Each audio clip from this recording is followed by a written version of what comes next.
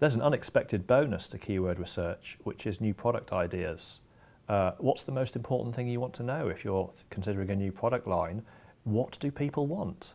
And yet this is a free output from keyword research.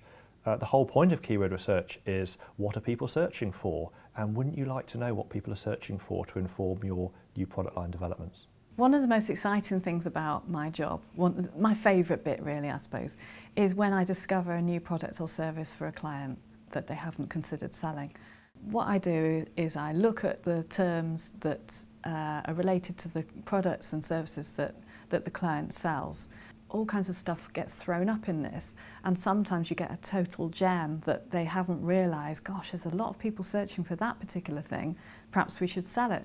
And one example of this was uh, we were doing some work for an online shoe retailer and um, I discovered that there was 31,000 people a month, 31,000 a month searching for sliders, those pool shoes, um, and they weren't selling them.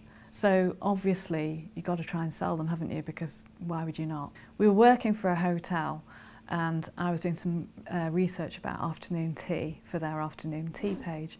You wouldn't believe the search volume for certain types of afternoon tea.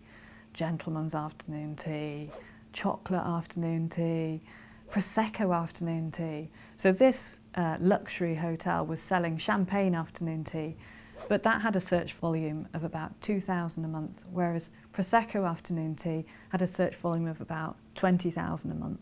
So swap the drink. you know, it's a very popular drink and, and then you'll sell more. So things like that. It's just a great little bonus when, when that happens. I love it.